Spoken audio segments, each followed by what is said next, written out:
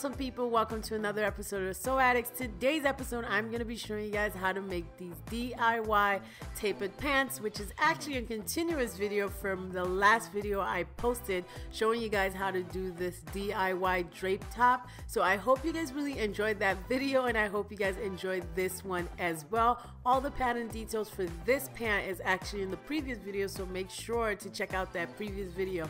And trust me, it does complement this pant, so you might as well just watch both videos. I really hope you guys enjoyed this tutorial. If you're new here, welcome to my channel. Make sure to hit down that red subscribe button and let's just get started with the tutorial.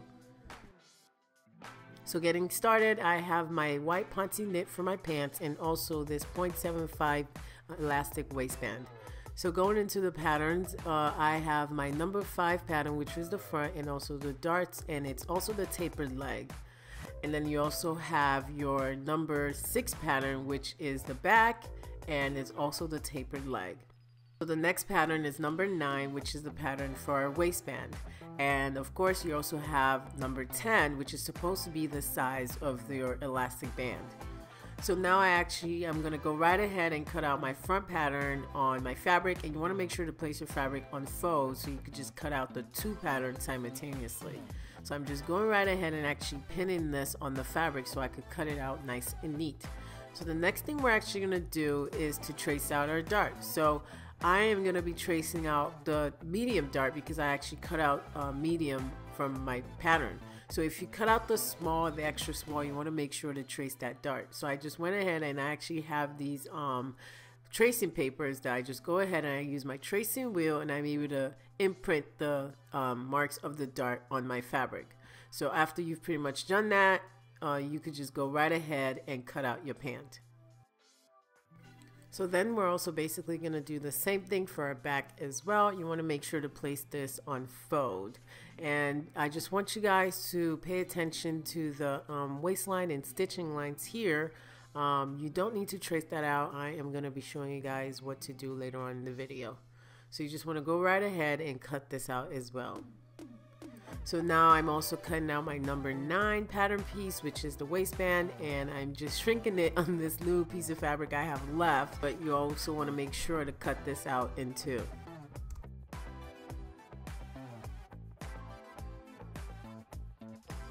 So moving on, in addition to cutting out a number 9 waistband piece, you also need to cut out a interfacing piece as well. So you just want to cut out one piece of interfacing in the same shape as your number 9 pattern.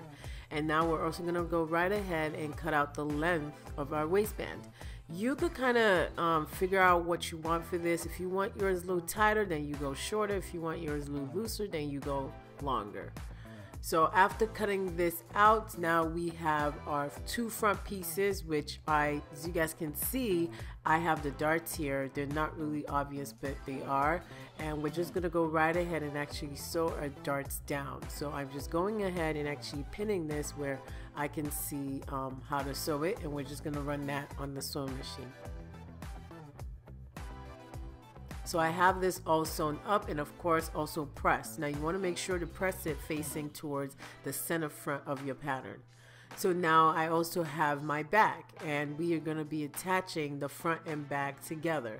So the front and back are going to be attached usually by the um, center front and the center back together all the way to the crotch. So you want to make sure to put right sides to right sides and it's really hard to see because my fabric is white actually but you want to make sure to put right sides to right sides and we're just gonna go right ahead and actually sew this down the leg.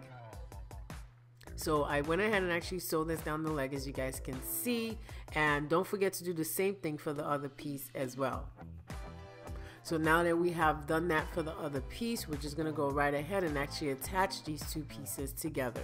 So you wanna make sure to place the fabric again, right sides to right sides, and then we're just gonna sew right around the center back, center back, center front, center front. So we're just gonna go right in this U kind of shape all the way from end to end.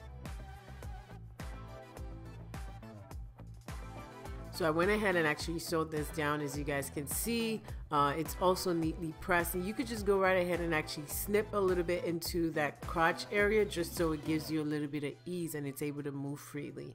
So now that we've done that, we're gonna go right ahead into our waistband. Now for the waistband, it's a little bit more complicated, but the first thing we wanna do is to attach our interfacing to one piece of our waistband. So all you gotta do is just place this on and put that through your iron and it pretty much just sticks on the fabric. So now we have that pattern piece and we're also gonna grab the other um, waist pattern piece and the next thing we want to do is to fold the bottom of the pattern piece without the waistband. So I'm just going right ahead right now and I'm just folding the bottom of one of the pattern pieces. Now we're going to fold this bottom at about 5 eighths of an inch and I'm going ahead as you guys can see and pinning this down. So what we want to do here is to actually press this down with our iron. So I went ahead and actually pressed it with the iron. As you guys can see, we're not going to sew anything right now. And the next thing we want to do is to basically just trim this down, making sure we're trimming it to basically about like half of what you have right now. So now we're going to go ahead and actually attach that pattern piece to the other pattern piece, making sure that right size facing right size, as you guys can see, and we're just gonna sew this down on the sewing machine at 5 eighths of an inch. So I went ahead and actually sewed this down as you guys can see. You could even go ahead and even trim that down a little further if you want. And we're pretty much just gonna fold this over as you guys see. And we're just gonna press this down so it lays down neatly. So at this point, we have successfully prepped our sleeve. As you guys can see, it is laying down nice and neat. So now we're gonna grab our pants and we're pretty much gonna try to attach our waistband to the front of our pants. So you wanna grab the front of your pant, which is the one that has the darts, and we're just gonna go right ahead and attach the waistband to the front of her pant. Now you want to attach this side, not the side that was folded previously. You want to attach the bigger side, as you would say, to the front of your um, pant. So you just want to walk the waistband nicely into the pant and we're just going to sew that at 5 eighths of an inch.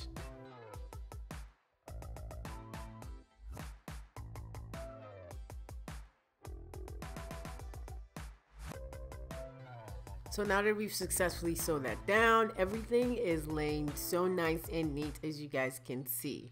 So now we're gonna go address the back of our pants. Now this looks a little bit complicated, but it's really not. We're just gonna go right ahead and actually measure an inch and a half um, from the edge of the top of the back of her pants um, and we're measuring an inch and a half down. And I'm only using pins to mark this because I don't want to um, put any marks on my white pants but I'm just using pins to mark this. So you want to go ahead and actually fold over an inch and a half and we're not going to sew this yet. What you really want to do is just press this down with your iron so I went ahead and actually pressed this down nice and neat. And the next thing we're gonna do is to fold the bottom of this piece at about a quarter of an inch in. And we're just going to go ahead and actually top stitch this on our sewing machine. So I'm just folding a quarter of an inch as you guys can see. And we're going to just top this stitch on the sewing machine. So I went ahead and actually top stitched it as you guys can also see and now we are going to insert our elastic. So obviously this is going to make your pants uh, fit a little better. So a good way to do this is to attach your elastic to a safety pin and actually push this through your um, waistband hoe. You don't want to do this by your hand because it is gonna take forever, trust me. So now that I've passed this through, I actually pinned the waistband to the edge as you guys can see right there and I was able to pull it out on the other side and you could just also go ahead and put a pin right there so it stays in place. And now you have that nice good stretch.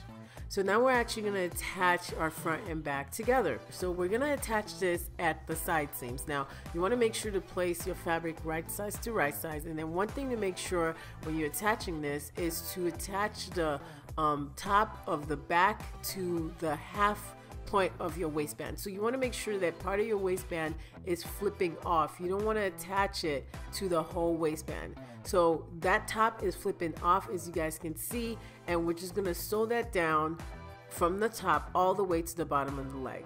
So I went ahead and actually attached this as you guys can see we also have that top part of our waistband flapping off. Now this is what we're going to use to hide the ugliness and the raw seams at the waistband. So I'm just going ahead and folding this over at the bottom and also at the side as you guys can see and this kind of tucks in all the uh, seam allowances and the extra seams. So I'm just going ahead and pinning this all over the waistband. So I'm pushing the uh, seam allowance and all the extra seams in and I'm folding that top flap of my front waistband over the um, ugly seams. And we are just gonna top stitch this on the sewing machine. So I went ahead and actually top stitched this down as you guys can see from one end to the other end. And you're pretty much done with the waistband. Now we're gonna go to the bottom of the pants now you can finish this however you want serge it but um, the bottom of the pant hem is about an inch and a quarter. So I'm just going right ahead and actually folding an inch and a quarter down on my um, pant leg. Now, I also went ahead and actually pressed this down nice and neat just so I have a nice guideline. And this technique is actually really good for beginners that are just learning how to sew. So now I'm actually just gonna go right ahead and fold a quarter of an inch down as well. So you have the inch and a quarter fold and then we're also gonna be folding a quarter of an inch. And this is where we're gonna top stitch using our sewing machine.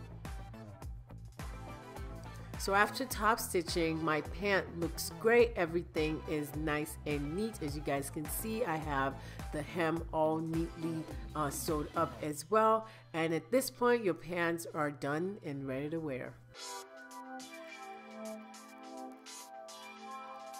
It was so great having you guys here on my channel this week. So once again, thank you so much for joining me on another episode of Sew Addicts. I really hope you guys enjoyed this tutorial. Once again, did not hesitate to check out my previous video showing you how to do the DIY drape top. All the details for the pattern for this DIY tapered pants is actually in that video as well. It is a full complete look, so make sure to check out those two videos. I really enjoyed having you guys here on my channel. If you love this video, please give this video a big thumbs thumbs up. And if you have any questions or suggestions about the patterns, where to find them, or anything else, make sure to scroll down and leave me a couple of words in the comment section. I'm definitely looking at those as well. Hey, one last thing, make sure to hit down that red subscribe button to see more awesome videos from me. And I hope to catch you awesome sew addicts next week.